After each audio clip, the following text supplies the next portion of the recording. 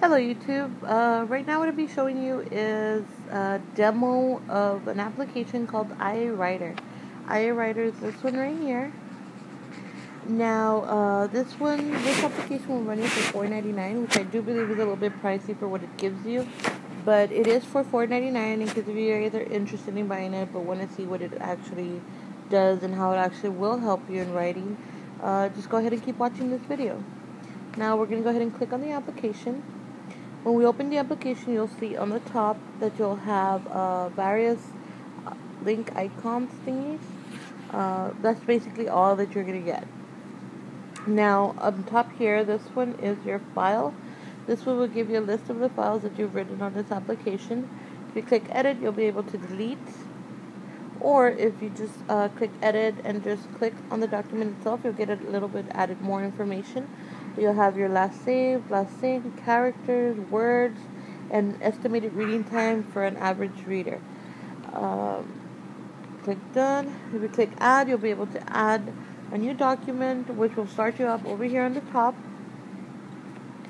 And um, type YouTube demo. And that's it. Now, on the top corner over here, right over here, uh, you'll have your word and your character count, and then you'll have your little full screen or um, uh, bring back the the menu on the top. Your little icons on the on the top. Unless you want to get rid of them, just go ahead and click on it.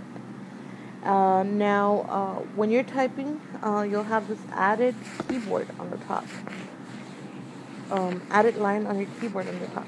Now this one basically um, helps you, if you look at this one, it says Word. Whatever you type, you just finish typing, you just click here if you want to go back and type something else before what you just finished.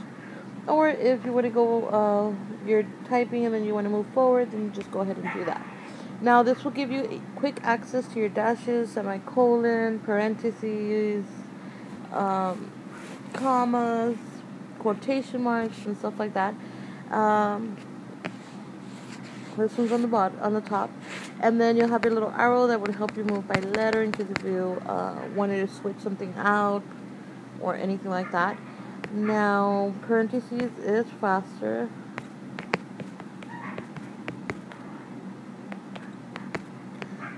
And um, it does give you like that added line. That's the only thing that I actually liked about this application that it gives you the line for quick access instead of having to go to your numbers and then typing and then moving back. Uh, that little added line is a little bonus that I kind of like. Uh, would actually wind up paying like a dollar for, maybe a dollar ninety nine, but definitely not four ninety nine. And um, that's basically all that it has to offer.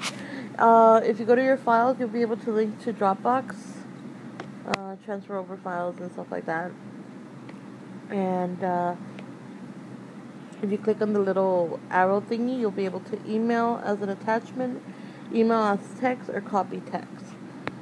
Uh, so that's it.